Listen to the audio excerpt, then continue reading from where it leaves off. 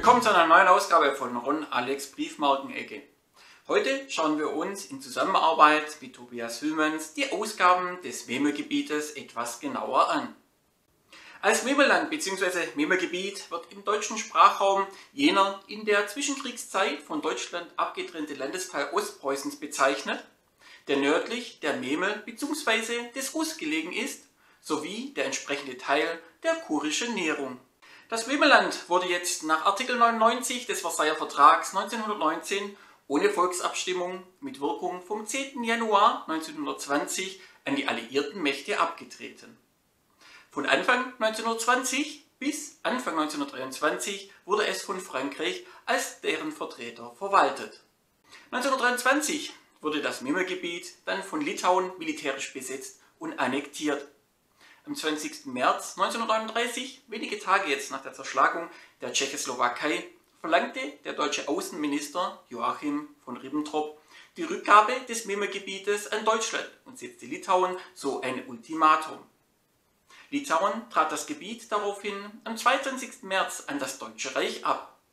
Im Zweiten Weltkrieg dann wurde es von der Roten Armee erobert und nach dem Fall des Memelgebiets am 28. Januar 1945 zugleich der litauischen SSR angeschlossen. Der 140 Kilometer lange und bis zu 20 Kilometer breite Landstreifen hatte 1939 145.000 Einwohner. Die größten Städte hierbei waren Memel, gefolgt von Heidekrug und Progegen. Als erstes schauen wir uns jetzt erst einmal an, wo die Stadt Memel überhaupt gelegen ist. Wir wissen, Memel liegt in Litauen, also gehen wir weiter nach Litauen. Wenn wir dann auch schon reinzoomen, dann wird uns auch schon die Stadt Memel angezeigt. Leider können wir auf Google Maps jetzt nicht erkennen, welches Gebiet das Memel-Gebiet umschlossen hat. Hierfür gibt es aber eine sehr gute Karte. Und wie zuvor schon angesprochen, die drei größten Städte Memel, Heidekrug und Pogegen sind auch hier abgebildet. Und hier erkennt ihr auch dann das Gebiet, das das Memelgebiet umschlossen hat. Zuerst wurde in Paris eine Markenausgabe mit einem Aufdruck im Buchdruckverfahren hergestellt, die dann am 7. Juli 1920 an die Postschalter im Memelgebiet kam. Zeitgleich zur französischen Ausgabe wurde jetzt in Berlin eine Markenausgabe mit dem Buchdruckaufdruck Memelgebiet in Auftrag gegeben, die aber erst in den frühen Augusttagen 1920 in Memel ankam. Inzwischen war die französische Ausgabe bereits an den Postschaltern angelangt, dennoch gestattete der französische Gouverneur André auch die Freigabe der Ausgabe von der Reichsdruckerei. Frankiert werden durfte jedoch nur Postsendungen innerhalb des Memelgebietes und nach Deutschland mit diesen Ausgaben. Trotz des späten Eintreffens der in Berlin gedruckten Marken wird diese Serie schon immer als die erste Ausgabe des Memelgebietes im Michelkatalog geführt. Hier zu sehen ein kompletter Bogen des Memegebietes mit der Michel Nummer 3, dem 15 Pfennig Wert. Der Aufdruck auf diesen 100er Bogen erfolgte im Buchdruckverfahren. Hier zu sehen ein kompletter Bogen mit Michel Nummer 10, dem 1 Mark 25 Wert. Auch hier erfolgte der Aufdruck im Buchdruckverfahren. Anhand des hier abgebildeten Bogens schauen wir uns jetzt noch die Hausauftragsnummer an die sich auf jedem Bogen befindet. Auf den 50er Felderplatten weisen die unteren Bogenränder die Reihenzähler 1 bis 5, also unter den Feldern 46 bis 50 und die Hausauftragsnummern auf. Bei einigen Werten sind unterschiedliche Typen von farbigen Urnummern vorhanden. Die Urnummer des Bogens ist die ursprüngliche Nummer, die aufgebracht wurde, als der Bogen hergestellt wurde. Diese finden sich immer unter Feld 50. Dagegen die Aufdruck-Hausauftragsnummer findet man in variierender Position unter den Reihenzählern 2 bis 3. Also haben wir eine Urhausauftragsnummer für diesen Bogen. Diese lautet H2024 Trennpunkt 20. Dann befindet sich natürlich noch die Aufdruck-Hausauftragsnummer auf diesem Bogen. Diese befindet sich auf Reihenzähler 3 und lautet H4076 Trennpunkt 20. Die Aufdruck-Hausauftragsnummer ist immer schwarz. Dagegen ist die Uhr-Hausauftragsnummer immer entsprechend der Farbe des Bogens. Es gibt jetzt noch eine Besonderheit bei den 20 Felder Platten. Diese haben keine Hausauftragsnummer. Sie weisen in Spiegelschrift gedruckte Nummern auf. Die aufgedruckten Hausauftragsnummern sind immer schwarz und auf dem unteren Bogenrand unter Reihenzähler 2 bis 3 zu finden. Die Aufdruck-Hausauftragsnummer lautet hierbei H4075-20. Die Aufdrucke lassen sich jetzt in drei Gruppen unterscheiden. Hier zu sehen ist jetzt ein glänzender Aufdruck. Dagegen kann man hier ganz klar erkennen einen matten Aufdruck. Legen wir die beiden Überdrucke jetzt übereinander, so können wir hierbei jetzt sehr schön erkennen, oben befindet sich der glänzende Aufdruck und unter diesem befindet sich der matte Aufdruck.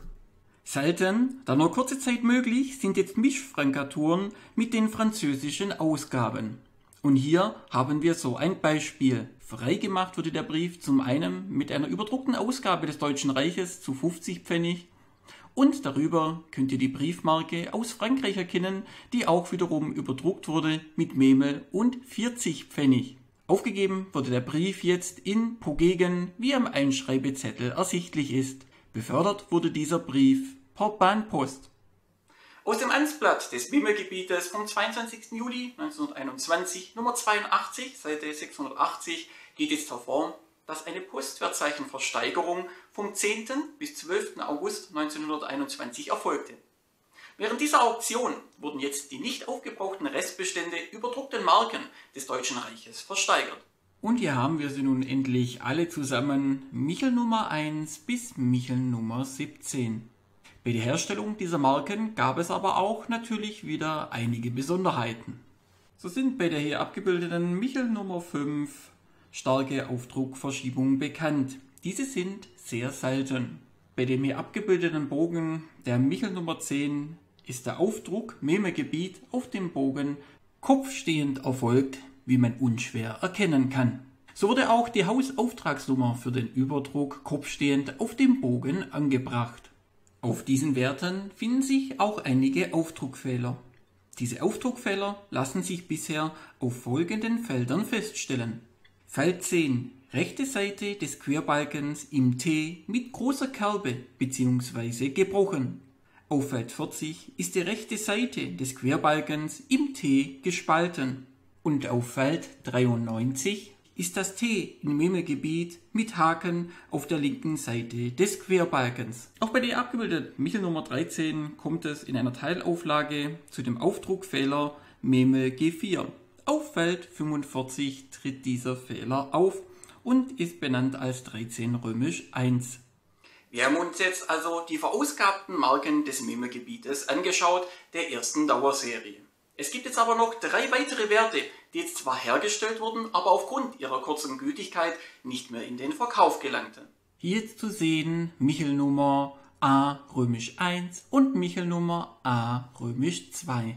Die beiden Marken sind aufgrund ihrer kurzen Gültigkeit jetzt nicht mehr in den Verkauf gelangt. Hier zu sehen jetzt noch der dritte Wert, der nicht mehr in den Verkauf gelangt ist. Michelnummer A9. Wie schon bei den zuvor gezeigten zwei Werten a römisch 1 und a römisch 2 gelangte dieser Wert aufgrund seiner kurzen Gültigkeit nicht mehr in den Verkauf. Bis hierhin haben wir uns jetzt die Markenausgaben des Meme-Gebietes etwas genauer angeschaut. Aber es wurden nicht nur Markenausgaben für das Meme-Gebiet hergestellt, nein, es gab auch noch Ganzsachen. Und genau von diesen Ganzsachen schauen wir uns die ein oder andere noch etwas genauer an. September 1920 erschien die hier überdruckte Karte der Deutschen Reichspost mit schwarzem, waagrechten Aufdruck Memelgebiet und hier zu sehen ist die Ganzsache P1. Es wurden aber nicht nur Ganzsachen überdruckt, sondern auch Postanweisungen, wie hier zu sehen, Postanweisung A1.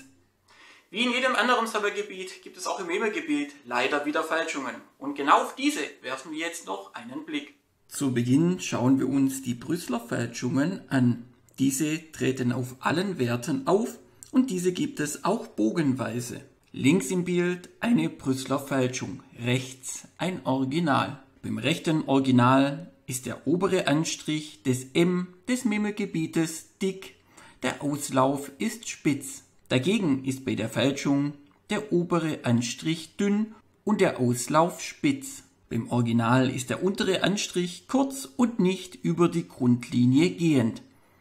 Dagegen ist bei einer Fälschung der untere Anstrich geht über die Grundlinie und verläuft etwas steiler. Beim Original ist das G von Gebiet unten geschweifter Auslauf. Dagegen ist die Fälschung unten am G von Gebiet der Auslauf mit besonderen Abschlussstrich. Beim Original ist der Punkt über dem I von Gebiet breit. Dagegen ist bei der Fälschung der Punkt schmaler und spitz. Auch oben zu flach. Hier wieder links zu sehen die Brüsseler Fälschung und rechts eine Originalmarke.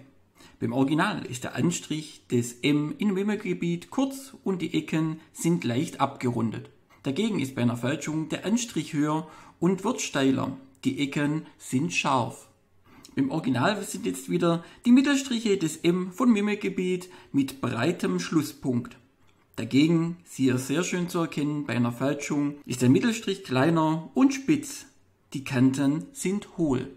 Und auch wieder beim G, beim Original der Auslauf des G von Gebiet leicht geschweift.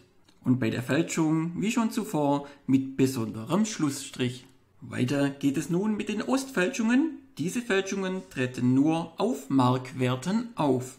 Und auch hier wieder die Fälschung sehr gut zu erkennen. Beim M unten ein langer Anstrich und oben links langer Aufstrich. Weiterhin hat das M oben runde Ecken im Gegensatz zum Original. Beim B fällt bei der Fälschung oben die typische Einkerbung.